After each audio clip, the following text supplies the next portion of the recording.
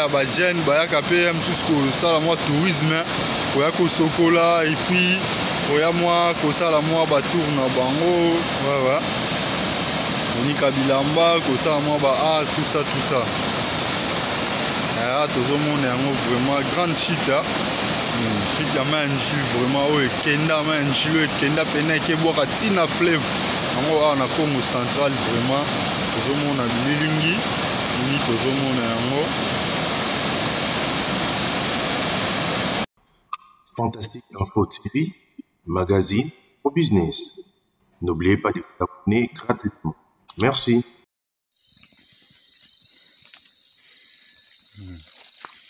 bamisala lisusu moko mpe ya bamisala oyo tosalaki awa ndeko na ngai papa leki wana misala tosali yango oyo eza banzete longo banzete ya staff oyo deja ekola ebotaka mbuma deja ebota epesaka biso deja ba fruit deja ezalaki ya mpona kotianga kaka propre na koswane yango vraiment ka nde bozomona na koswane yango na banzete moko deja ekola mpena minene esengaki ezala na espace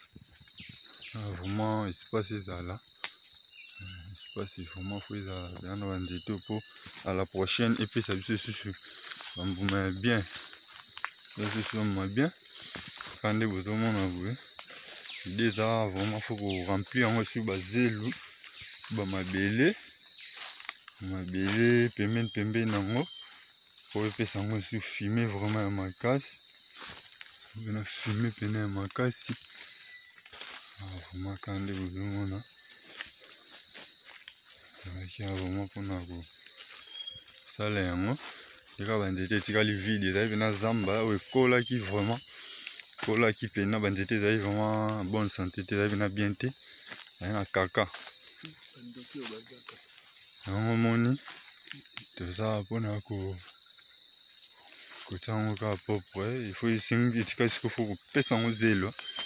pesi yango zelo omona sikoyo vraiment resultat na yango ekozala malamu ntango bambuma ekobota resultat na yango vraimen ekozala malamu kandi bozomona boye elinga vraimen banzete ezala vena bien ezala vena na propre na propre mpo arespiraka mpe aza nzete soki eza coince vraimen moye bota vraimen eza te ya vena te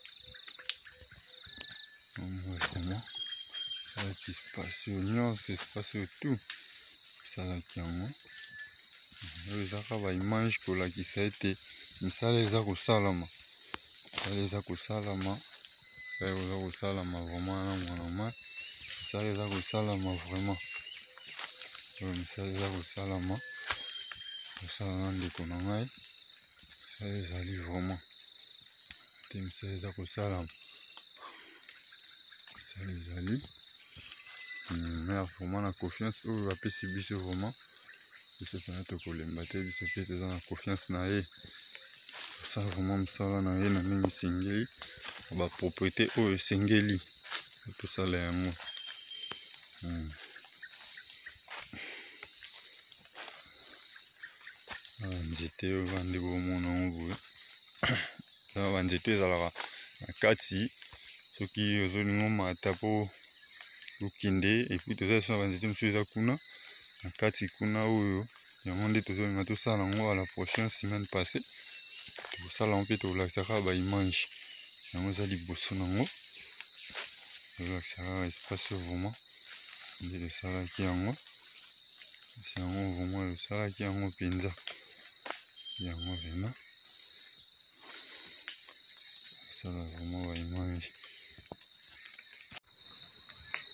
hmm, merci bandeko nyonso elandi ya info fantastique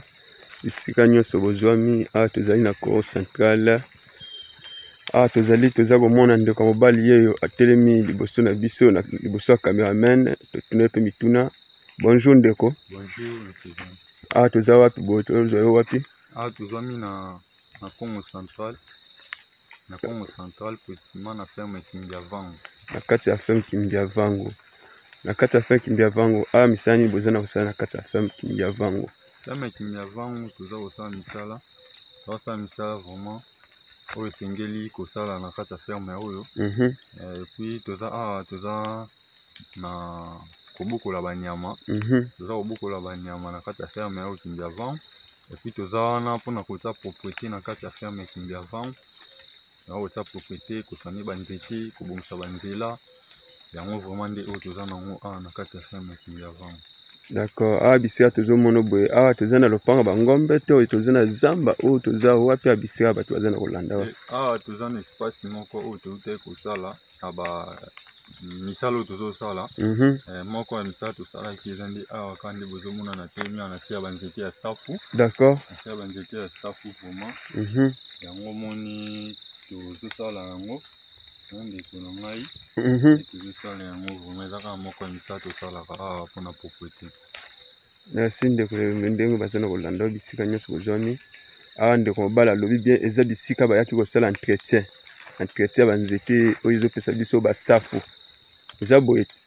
lobi toza na baentretien ya banzete basafu